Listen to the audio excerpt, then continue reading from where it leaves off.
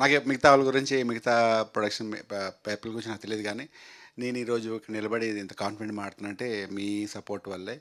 ఎందుకంటే నేను last time చెప్పాను నాకు ఒక ఫైవ్ పర్సెంట్ మీకు నచ్చిన నన్ను టెన్ పర్సెంట్ ప్రమోట్ చేయండి అమ్మితే మీరు నన్ను హండ్రెడ్ పర్సెంట్ ప్రమోట్ చేశారు. థ్యాంక్ యూ సో మచ్ చెప్తుంటే నాకు నిజంగా కన్నీళ్ళు కూడా వస్తున్నాయి.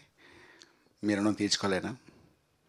And coming to this movie Tenant ఇది ఫస్ట్ ఆల్రెడీ నేను ఇప్పుడు ఈవెంట్స్లో చెప్పాను ఒక ఇంటర్వ్యూలో కూడా చెప్పాను ఏంటంటే మన యుగంధర్ గారు వచ్చి ఫస్ట్ టైం కథ చెప్పినప్పుడు వర్మ గారు యుగంధర్ గారు వచ్చి ఒక కథ చెప్పినప్పుడు ఎలా చెప్పారో కథ చెప్పిందా?